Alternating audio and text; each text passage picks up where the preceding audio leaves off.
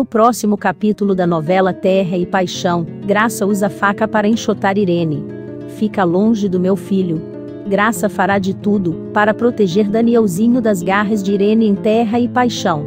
A loira chegará a usar uma faca para enxotar a ex-sogra de sua casa depois de vê-la tentando sequestrar o seu filho.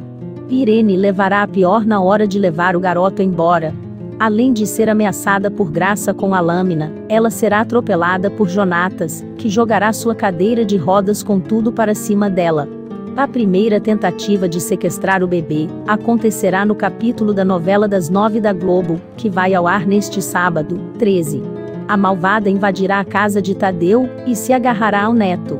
Graça até tentará fazer com que Irene mude de ideia, mas, ao ver que não conseguirá, mudará de estratégia. A Patricinha arrumará uma manta para Irene levar junto, e ainda sugerirá que ela bote o menino no carrinho. Assim que a ex-sogra largar Danielzinho, a loira começará a gritar. Jonatas chegará e atropelará a mejeira com a sua cadeira de rodas. Irene cairá no chão e derrubará o produtor. Meio sem jeito, ele conseguirá segurar a bruxa, e Graça terá tempo para fugir com o filho.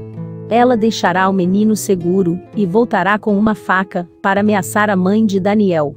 O Danielzinho não é seu neto. Você tá doente. Tá fora da realidade.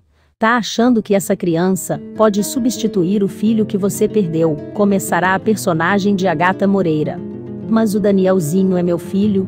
Ele não tem nada a ver com você. Vai embora. Fica longe do meu filho.